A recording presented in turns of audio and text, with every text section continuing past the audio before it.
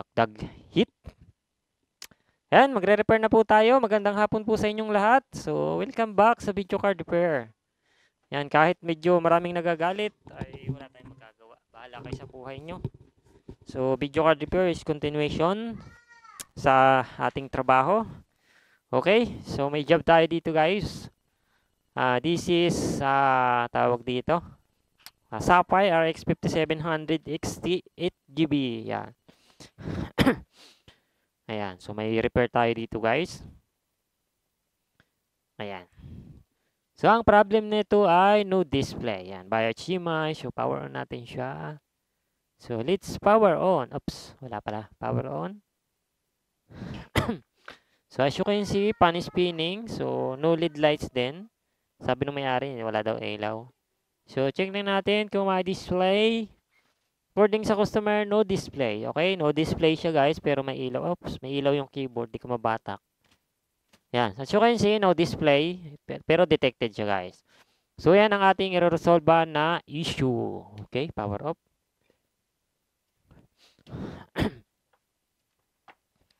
okay, so let's try. Yan, umiinit naman pala guys yung GPU chip kasi mainit siya. Oh, ibig sabihin, may silyado pa po siya. Oh. Ayan, as you can see. Ayan, so ito ang ating i-repair today.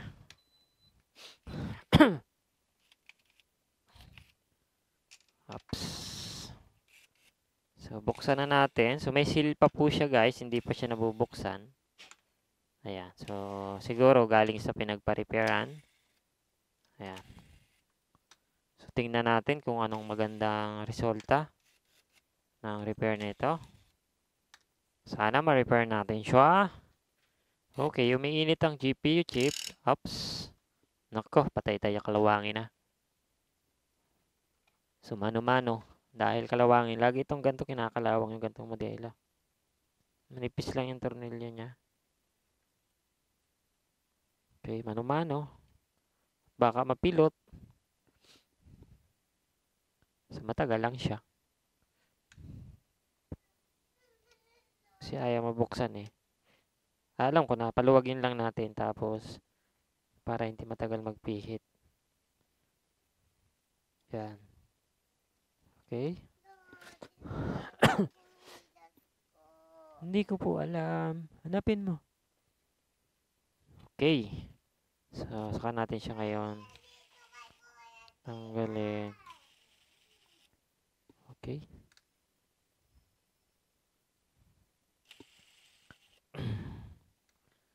So, yan ang ating repair. So, current line up natin guys sa pila ng repair. So, today is November 11, 2023. so, current line up natin sa pila ng repair is nasa kulang-kulang 50 person yun guys. So, hindi ko natanda kung ilan eh. Pero marami guys yung nasa likod ko, yung nakikita nyo. Ayan. Ayan guys, sa likuran ko. So, ilang layer? 3 layer yan. Okay po. Okay. So, 3 layer po yung ating uh, pila ng repair. So, marami pong nagpapa-repair sa atin. Ayan. So, ito, ayaw siya matanggal. May kandikit na siya. Ay, meron pa pala.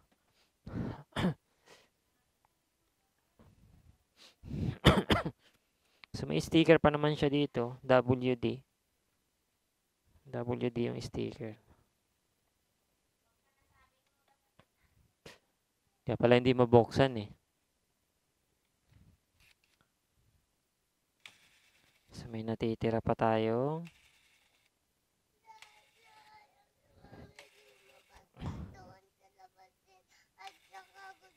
Okay. okay lang yun. Huwag ka sa mama. Okay. So, itong re-repair natin. Oops. So, sira din daw yung LED, yung ilaw niya. Pero wala akong pamalit ng ilaw nito. Oops! Wow! Super dumi! so, sana ma-repair natin to guys. Kasi ito ay sirain ang GPU chip. So, hindi pa ito guys nabubuksan. Since birth. Yan, original pa rin yung ano. Tapos as you can see. So, wala na po siyang thermal pad.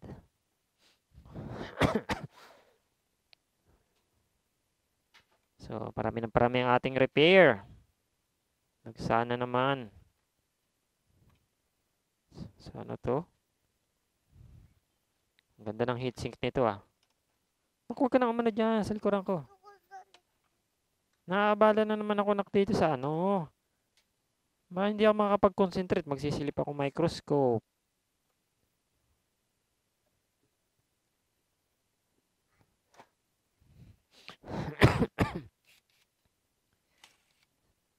Ang daming tornilyo. Saan pa? So, tanggalin natin ito lahat ng tornilyo. Ayan. Excuse me. So, pasensyaan nyo na ako. Inuubo ko eh. So, part ito ng ating trabaho. Pagod lagi. Okay. Mhm. Kalawangin na. Tayo tayo dyan. So, puro kalawang na siya. Hindi na kasi nililinis, kaya ganito.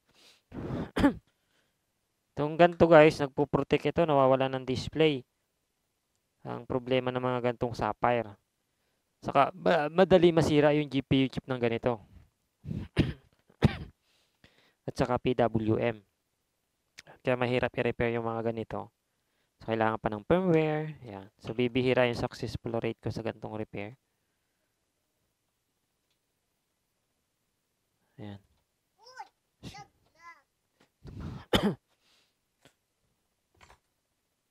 So, ayan. So, may lock pa to. Okay. Wag na, wag.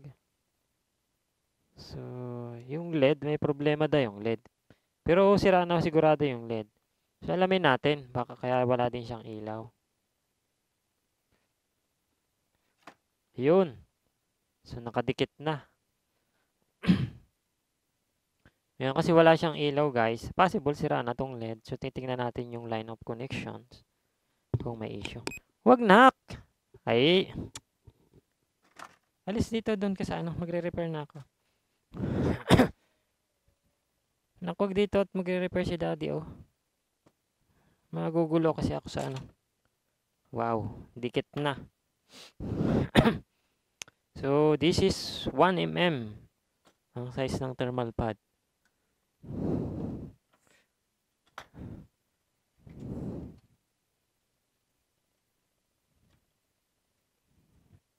So, ito ay linis time. Kagaya nung ni-repair ko nung nakaraan.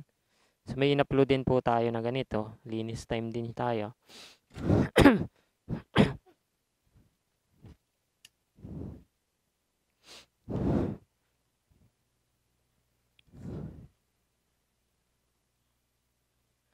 Ay, sorry. Walang microscope. so, ayan.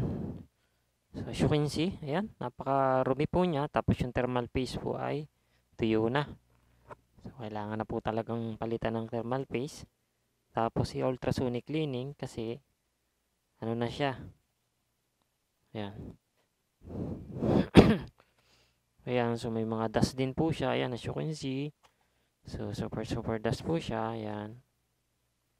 So, nagkakaroon siya ng conflict. Medyo basa na po yung kanyang ano, kaya nagkakaroon siya ng protections. Okay? So, ayan ang BIOS chip.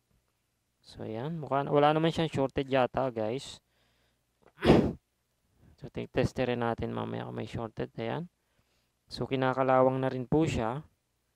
Ayan. Dapat nililinis din kasi. Ayan, oh, may tama po siya dito. Liquid damage.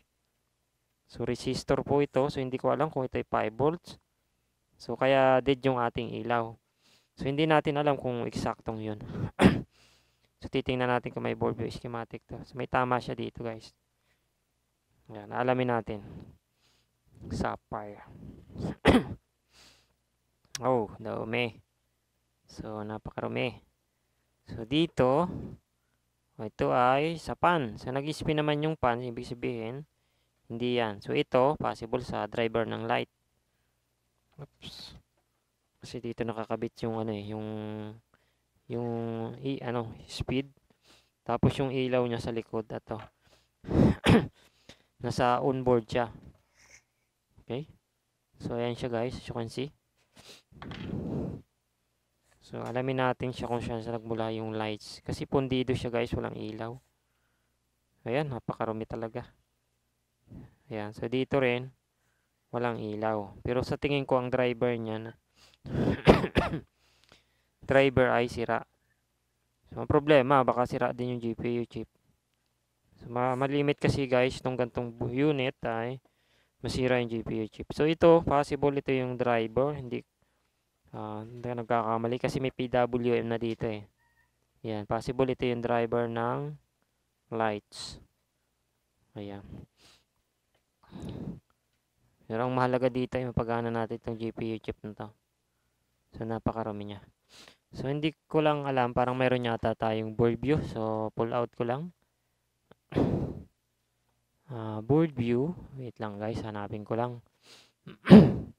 so, this is AMD. So, 5600. Ay, wala. Gigabyte yun nandito. So, wala tayo. so, ah, try natin ang schematic. Wait lang guys ha. okay. So, wala. Okay. So, wait lang.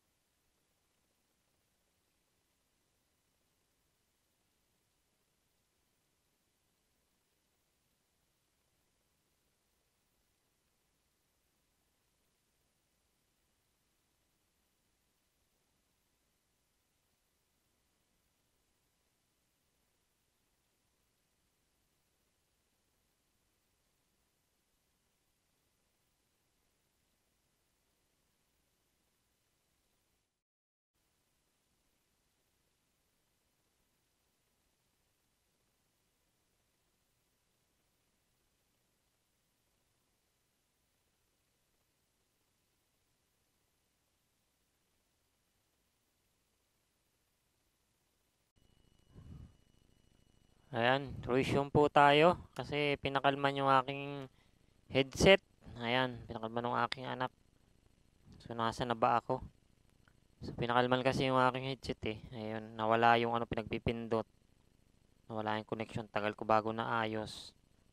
Wala pa namang manual. Ayan, so nandito na ako. Alam ko nasa likod ako yata. Saan na ba ako? Ah, nasa naghahanap na ako ng ah, board view. Excuse me. So, alam ko naghahanap ako ng board view. Yan, saan ba ako? Wait lang guys. Ah, alam ko kasi may parang namin natatandaan ako eh. so, may board view ako nitong ano. Tawag dito. ah, this is Sapphire. Ah, measurement. Ay, wala pala. AMD. So, iba palang version yun. 6800 yata yung Sapphire. So, hindi ko lang alam kung pareha sila. So, hanap lang ako guys. 5700. Hindi ko alam kung pareha sila ng ano eh. O may kaparehas. Wait lang guys.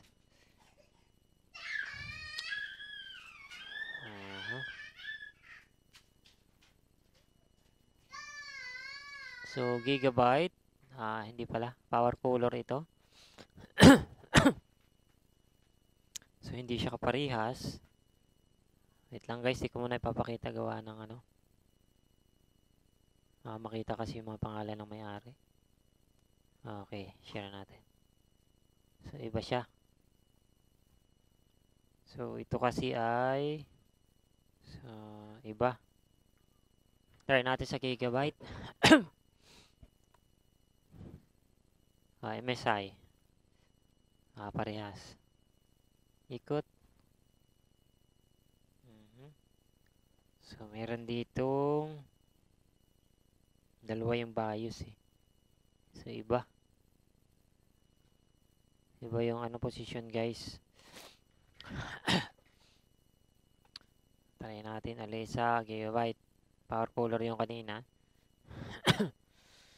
Hindi ko alam kung pares ng gigabyte. Ayan. Okay. So, gigabyte.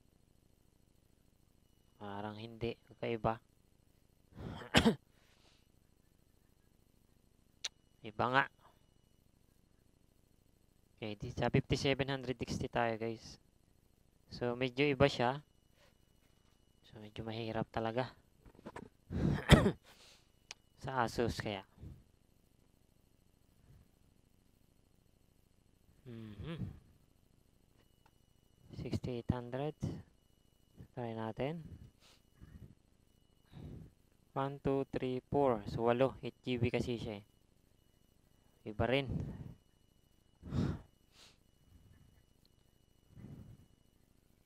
So, Asus.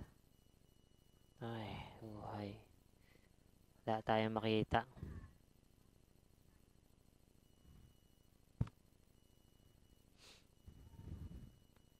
Yun lang. Asus.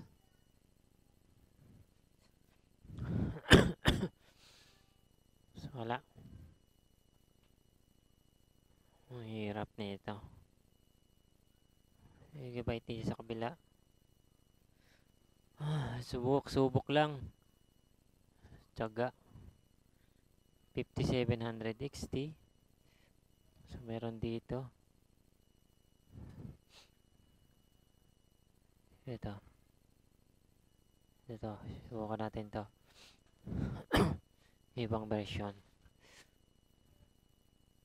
Oops. Isang BIOS lang siya. Iba rin.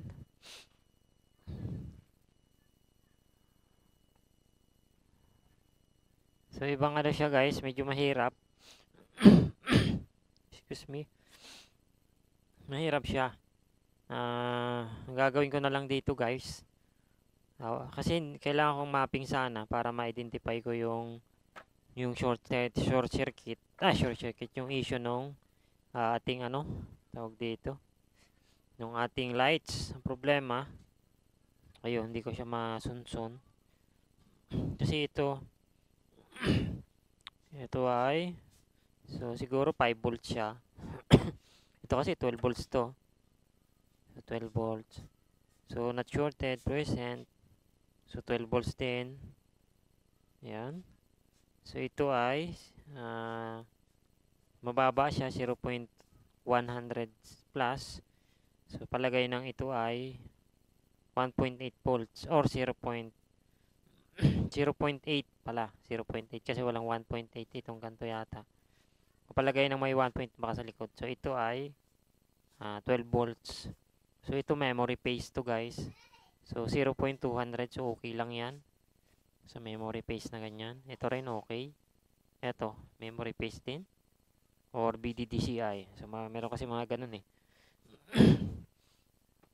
so ito may isa pang coil dito ito ay possible ito ang 0.07. So, okay siya. Hindi siya full shorted, guys. Kasi ang shorted natin ay 0.05 yun. So, hindi siya shorted. Okay, hindi siya shorted. So, ibig sabihin, umiinit kasi yung GPU chip. Buhay yan, pag ganyan. Pag umiinit ang GPU chip, so possible, nagde-dead lang yan, uh, mga ibang problem. Yan, so, susubukan ko siyang i-ultrasonic cleaning. Yun yun. Tapos, yung sa regarding naman sa ano sa ating uh, yung ilaw kasi wala tayong ilaw eh. Hindi ko kasi sigurado kung dito siya. Yan. So, malalaman natin yan. Inspection natin after so, ultrasonic cleaning. So, wala tayo guys shorted. Yan, pero magiging ano lang natin dito is after ultrasonic cleaning, malalaman natin kung gagana yung ilaw or magdi-display. Pag na ultrasonic cleaning yan at nag-display, so possible uh, nagkakaroon lang siya ng complex uh, using dust, uh, basa siya, yung mga basa, tapos may mga resistor na tama. So yun, doon natin malalaman. So update ko kayo guys after ultrasonic cleaning. Okay, kung anong result.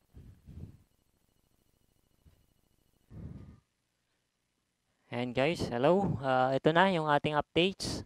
Na ultrasonic cleaning ko na tong ano na to, Sapphire RX 5700 XT. And ultrasonic cleaning na natin siya. So wala naman ako guys pinalitan pesa diyan. So wala tayong pinalitan, okay? So ayan, so papalitan na lang dito ng pyesa is possible is thermal pad. Ah, so kasi pero madumi pa rin to, lilinisin pa rin natin 'yan. Pero Monday na natin to itutuloy kasi ngayon ay November 11 so back tayo ng November 13 on Monday. Okay, so pakita ko lang sa inyo for last repair. So as you can see, no display ito before. So ayan, naka-ready na siya para pibidyohan na lang natin. So ipa-power on na natin siya, no po? Para makita natin kung gumagana na o hindi. Yan, as you can see. So by HDMI tayo running. Okay, let's power on. Yan, as you can see. So tapat natin. So it's wiring. Yan, so makita natin kung magdi-display siya o hindi. Ayan. So as you can see, so may display na po tayo. Ibig sabihin, yung ating repair ay successfully working. Ayan, as you can see. So power off ko na siya. Power off. Ayan, so patay na siya. Ayan, so okay na guys yung ating repair. Successfully na. So ang naging issue lang talaga nitong video card na ito guys is uh, corroded. Gaya nga ng sabi ko. Kaya siya no display, nagpo-protection siya. Either sa base kasi sa mga na-repair ko na ganitong unit, uh, basta may ta ano yan, uh, either GPU chip lang yan or uh, power controller. Yung ano, yung, yung nandito ito to.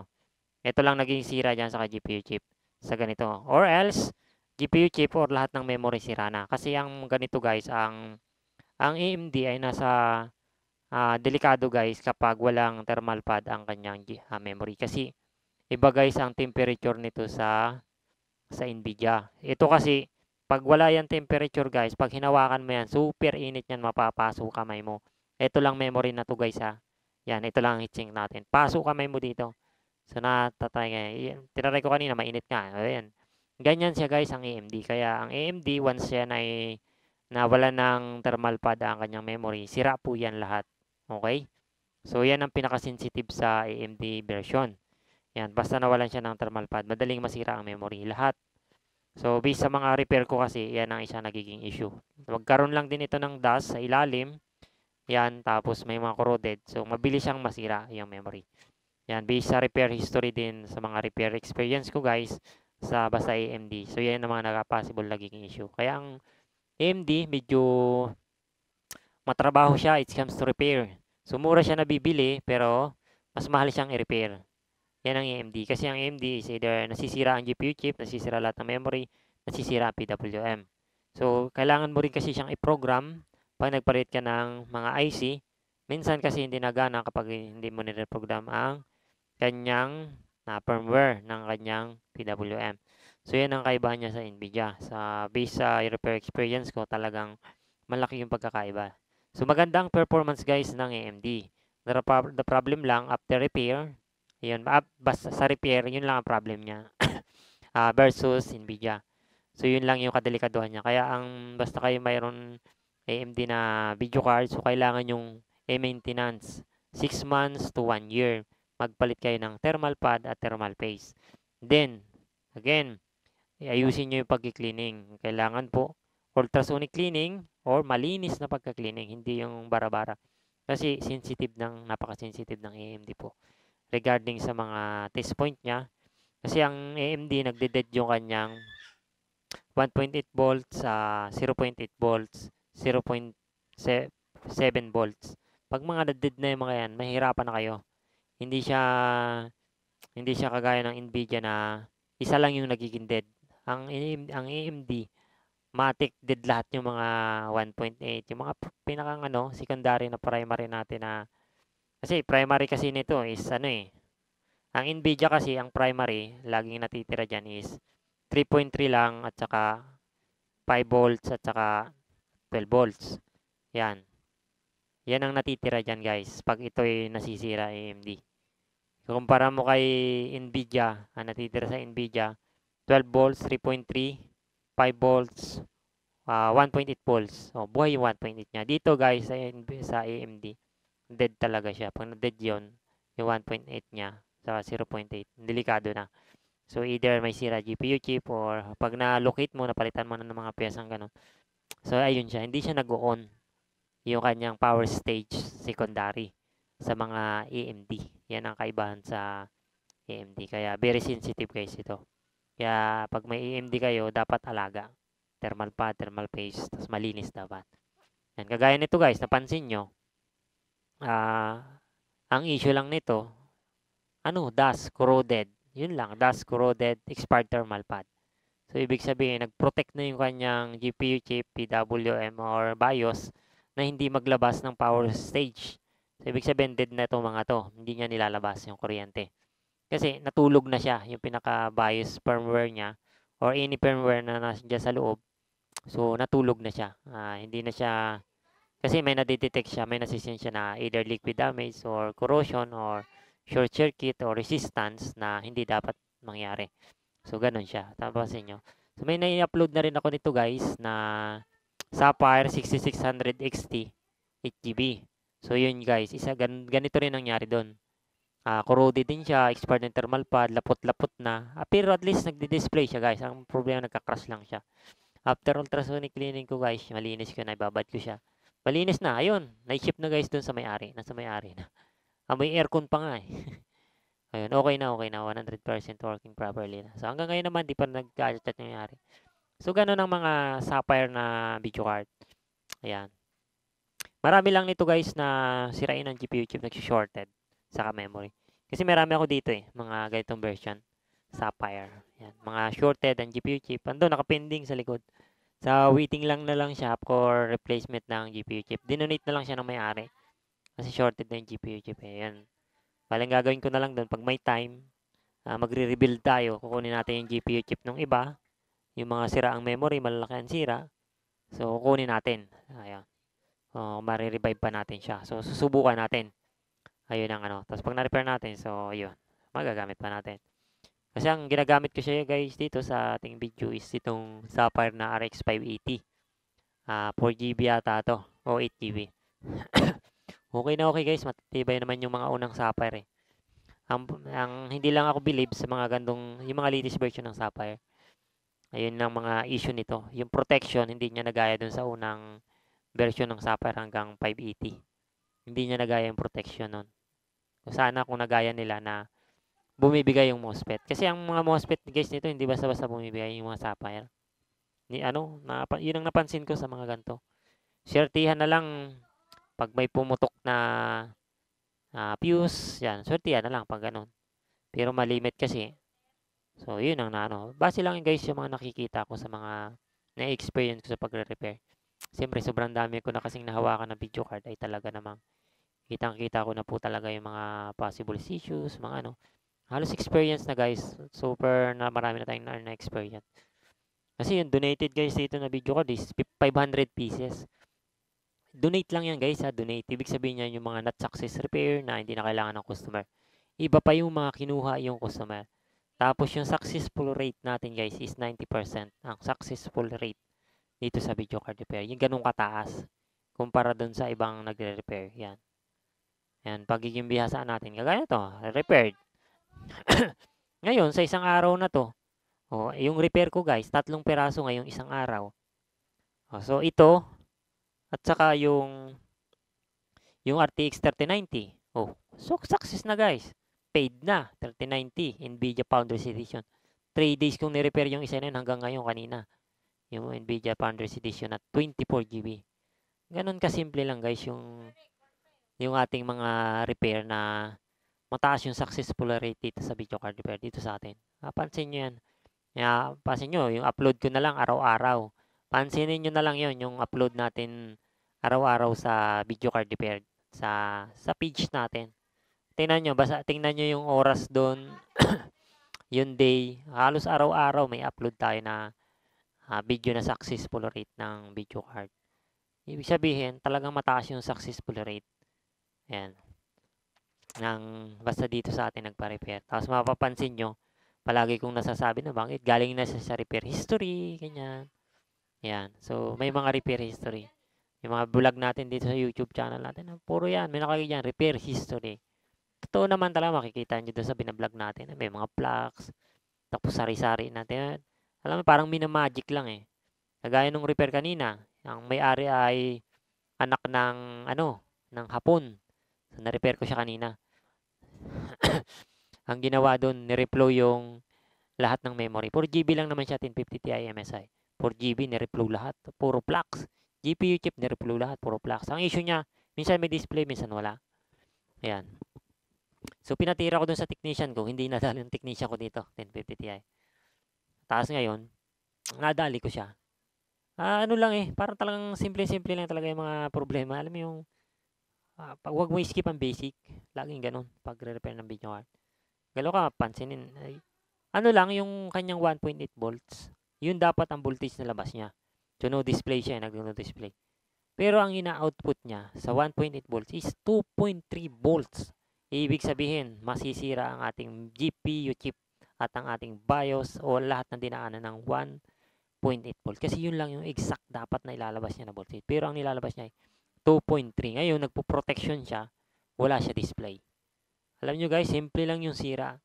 Simple. Bakit siya nireplow? Bakit siya nireplow yung GPU chip at lahat ng memory? Hindi naman yun nasira eh. Simple lang. Yung re- isang malinggit na capacitor nakakonect sa pin 1 at saka pin 3 ng ng isang MOSFET. Yun lang. Ah, MOSFET. Driver MOSFET. Simple lang, yun lang. Yung capacitor. Paano kasi siya eh? B plus siya parehas. Ibig, yung sabi, ibig sabihin, yung dalawang capacitor, ay yung isang capacitor, tapos yung dalawang B plus line na connections, ay naharangan lang ng capacitor na parang siya yung pinaka-blocker na, na capacitor para mag-function yung isang ah, mag-control nung isang ah, driver IC na yun para ilabas niya yung eksaktong 1.8 volt not 2.5 volts. Yun, kasi 2.5 nilalabas niya pag wala yung SMD capacitor. Napakasimple lang. Yun lang. Pag tester ko ng 1.8 volts, aba, 2.3. Ayun. Isip agad, ah. Siyempre, hindi ko alam yung kung alin doon yung ano kasi walang board yun, walang schematic. so, tinister ko siya. Using dun sa, alam ko kasi yung 1.8 volts na connection. Tinister ko. So, yun siya. Baliktadin ko lang yung PCB board. So, nakita ko agad. Nandun siya. Missing parts. Yun lang yung naging issue eh, nung video card. Hanggang ngayon, okay siya. Nakuha na nung mayari. So, 1050 Ti, MSI, 4GB, DDR5. So, ganun lang siya guys. So, minsan kasi,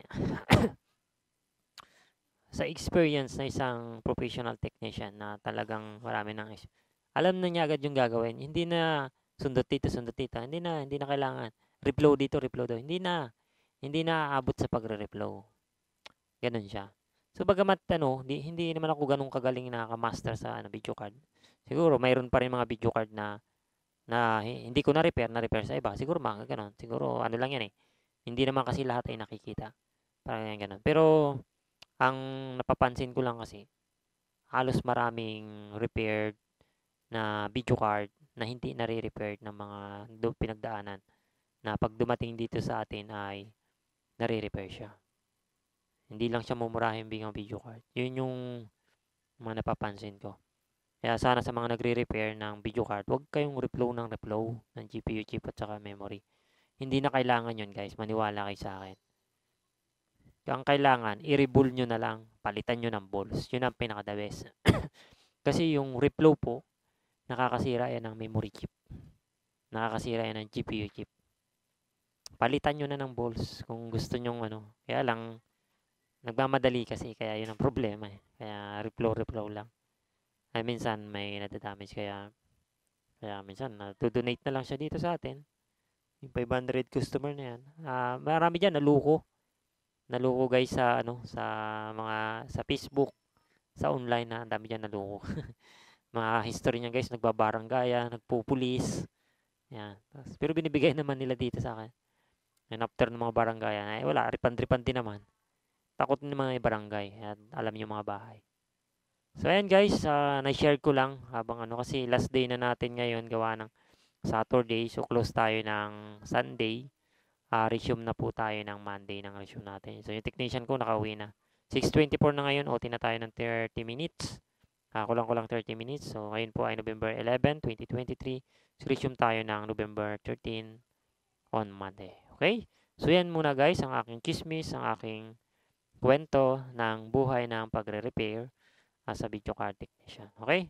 So, see you on Monday. So, update ko kayo for the final testing, stress test nitong video card. Okay, guys? So, happy holiday. Ah, happy holiday. Happy weekend po sa inyong lahat.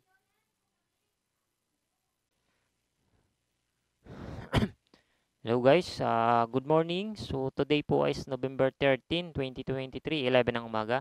So, ito na guys yung ating updates doon sa ni-repair natin nung karaang Sabado. Ayan siya guys, running na siya ng stress test. Kanina pa po yung nakakasalang, nababayaan ko na po siya nakaganyan. Ayan, as you can see, so pan-spinning. So, with display na siya guys. Ayan, so ito na yung specs yung ating result guys. Score natin is 4,610. So, EPS result T2 is 183. Minimum EP is 33, then maximum EP is 364. So yung ating GPU temperature guys ay napakababa lang. Maabot lang siya ng 66 degrees Celsius. 60 to 66 degrees Celsius lang yung kanyang uh, um, GPU temperature. Ayan, so explain ko na lang guys ha, kasi medyo hindi nyo kita. Then yung ating memory temperature is 64 degrees Celsius lang. Mababa lang po siya yung ating uh, ah, GPU temperature at saka memory temperature. Yung pan speed po natin, 20, 23% lang po. Napakababa ng ating pan speed. So wala po tayo ditong pinalitang pyesa. Ang issue po nito ay uh, corroded parts, uh, kinakalawang, uh, thermal pad residue, expired na po yung thermal pad. Yan, super kapal na ng thermal pad. Tapos may mga ano na yung kanyang heatsink. So nilinis natin kahit paano natanggalan na po. And as you can see, okay na. Pass na po siya sa stress test. It's working fine na po. Okay? So, yan. Super so good. Yung nirepair po natin is Sapphire RX 5700 XT. Yan, as you can see. So, 7 nanometer na yung GPU chip niya. So, ang memory, DDR6 Micron, 256-bit, 8 GB. Yan, yung kanyang GPU clock ay mataas guys. Sumabot siya ng 2,000. So, naka-booster kasi siya. At tapos naka ano ito, naka-full, tawag dito, ah, naka ano, naka-full. Ang tawag, anong ang tawag doon na, JR? Yung sa sa BIOS clock. nakasagad. Oh, naka ano, naka overclock. Ayan, naka overclock siya. Na tapos yung default natin hindi niya ginamit. So hindi ko alam, hindi ko naman binago ang BIOS settings niya. Eh. Kung ano yung dati, yun pa rin. Okay, so yan yung ating update case sa video card repair na yan. So current lineup natin guys, as you can see today is nasa uh, ngayong November 11, uh, November tama, ah, November 13, Uh, November 13 pa lang ngayon guys, ang pila natin ay nasa 54. 54 pieces. Ah, so, ganyan po karami yung nakapila natin sa repair as you can see. Ayan. So far, so good ang ating repair. So, ayan po guys, ang ating updates. So, wala tayong pinalitan pyesa. Ang pinalitan po dyan ay thermal pad. Ayan. So, okay naman kahit papano ay nabuhay pa. Ang issue po niya, no display. So, via HDMI po yung testing natin. As you can see, nasa baba yung ating port. HDMI. Ayan. So, okay na po siya. Sa, kasi matagal na yung hindi pinapalitan ng thermal paste saka thermal pad. Kasi stock pa yung ano niya, eh, may warranty sticker pa din. Pero at least hindi nasira guys yung kanyang GPU chip. Kasi yung ganyang modelo, ah, basta AMD, madalas masisira yung, yung GPU chip. Nagsushorted siya. Nagsushorted yung 0.8 volts niya or yung 0.75 volts or yung B core niya nagsushorted. Yan, mahina kasi yan sa heat temperature. Kasi ang memory niyan guys, basta AMD, mataas ang temperature. Yan, pag walang thermal pad. Yan, so yan yung tatandaan nyo kumpara sa uh, kanyang ka kaibayo. Okay? So, okay na guys, kahit pa paano, super, so good. So, successfully 100% ang ating repair na sa Pi RX 5700 XT. Okay? So, hanggang dito na lang guys ang ating uh, video repair. Ayan, para sa mga makapanood po ng ating video na to. Ayan, don't forget to subscribe, like, and comment. Pakishare na din po. Then, abangan nyo po. So, ngayon po ay November 13. So, abangan nyo po ang ating, tawag dito, abangan nyo po ang ating year-end, uh, year-end giveaway. Okay, magbibigay, magpipili po ako ng 10 tao uh, na mapapalad. Yung mga sumusuporta po sa ating YouTube channel, sa ating Facebook, yung palaging commentator natin, nagko-comment, nagla-like, nag-heart, emoji, kanya nag-emoji. So, basta palagi silang nandyan. So, kilala ko sila. Kaya, hindi sila nawawala sa ating isipan. So, bibigyan natin sila ng mga uh, premyo, ah, giveaway para bibigyan natin sila ng munting regalo sa kanilang pagsusumikap na kahit na papaano naabala yung kanilang uh, buhay social media sa pag uh, ano sa atin bilang support. Okay? So, abangan nyo yan guys. Uh, magbibigay tayo ng regalo. Okay? Mga load, uh, tester, tweezer, uh, hot air, uh, braid, solder braid, plugs, yan, etc. etc. Yan, kung ano yung kakayanan na kaya ng bigay ng video card repair dito sa workshop fix. Okay? So, hanggang dito na lang guys. Salamat sa inyong panonood. See you in the next repair. Bye!